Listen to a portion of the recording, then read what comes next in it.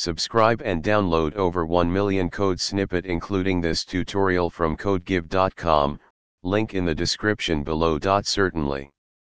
Here's an informative tutorial on Python and tkinter programming, along with code examples to create a simple GUI application.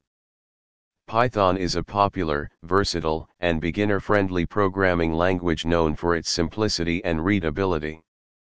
Tkinter is Python's standard GUI, graphical user interface, library that allows developers to create desktop applications with ease. To get started, ensure you have Python installed on your system. Python usually comes pre-installed on most operating systems.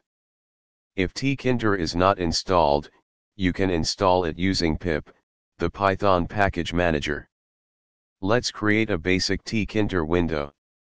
Let's expand the example to include a button that changes the label's text when clicked. This tutorial provides a basic understanding of Python's tkinter library for GUI development. tkinter offers a wide range of widgets and functionalities to create robust desktop applications.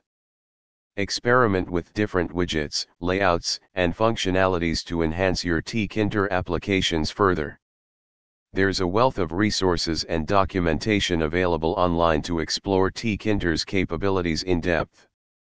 ChatGPT